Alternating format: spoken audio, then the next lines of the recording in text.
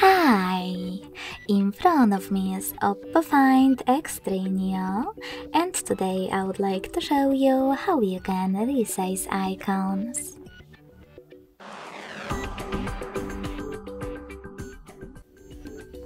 You need to begin by pinching your device's screen and tapping on Got It in the pop-up.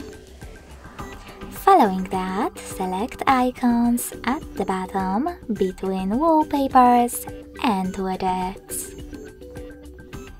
Now swipe left or right on this icon slider in order to adjust size of them. Check out preview above and when you are finished, save your changes by hitting apply. So when I do that, as you can see, size of my icons has changed.